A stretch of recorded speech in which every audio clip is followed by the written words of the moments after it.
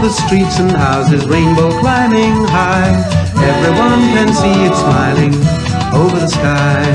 Paint the whole world with a rainbow. George's Story Time Rainbow Special. Hello, everyone. I'm George Buxton. Guess what? It's time for a story.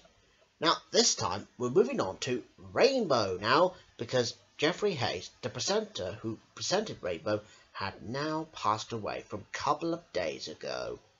And what better way to, to celebrate his life by reading this special book, and it's called Down on the Farm, as seen on Thames Television, the oldest company from London.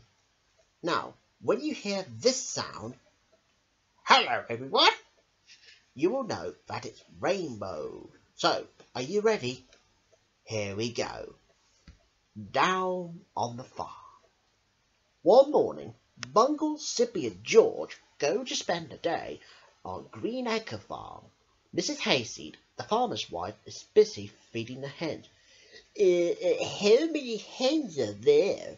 says George. Well, let's count them, says Bungle. One, two, three, four, five, six, seven, said Zippy. Come and help me collect the eggs, said Mrs. Hasty. Uh, we better not drop any, or they will break, says George. You hold the basket, George, and I'll put the eggs in, says Zippy. I like brown eggs best, says Bungle. They put all the eggs in a basket, brown eggs and white eggs. Bungle, Zippy and George go to the orchard to see Captain the horse. Here's an apple for you eat, says Zippy to Captain. Oh, oh, he's trying to nip my fingers. Oh, cries poor George. Stop it, stop it. He thinks they're made of sugar, says Bungle. Horses like sugar. Bungle goes off to watch Farmer Hayseed feed the pigs. He leans over the side of the pigsty. Be careful, Bungle, says the farmer. Don't lay too far, too far off the fence. But help! I'm falling, says Bungle as he falls into the pigsty. Poor Bungle. He's covered in mud. He has to wash himself under the water pump. oh dear, this water's cold, he says.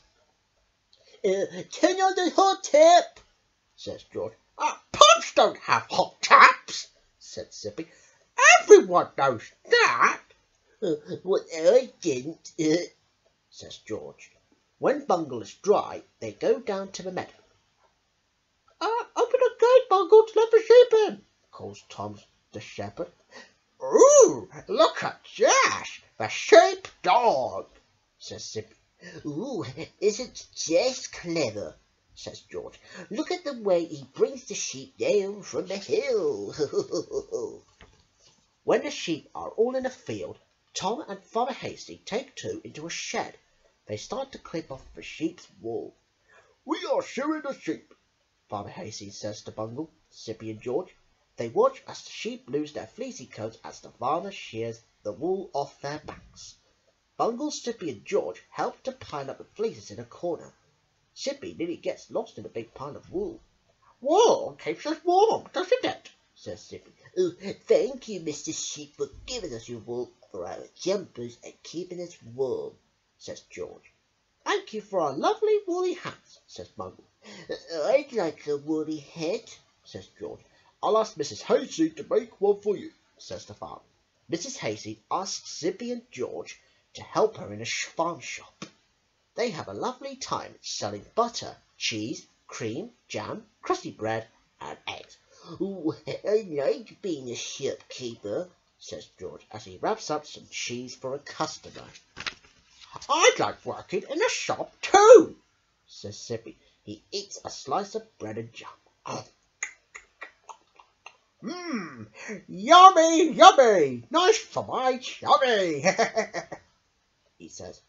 You've all done very well, said Mrs. Hasty as they leave the farm to go home. Come again in the springtime when the babs are born. So they do. They all come back in the, in the springtime. Bungle feeds a baby lamb with a bottle of milk. George picks a bunch of yellow primroses from a wood near the farm. He gave them to Mrs. Hayseed for being so kind. Zippy finds himself another piece of lovely bread and jam to eat. Mmm, yummy yum! They all enjoyed their days at the farm. Well, viewers, well, we hope you enjoyed this uh, rainbow story down on the farm. Now, and as I used to say, Geoffrey who passed away, you will be missed. Rest in peace, Geoffrey Hayes. Forgotten.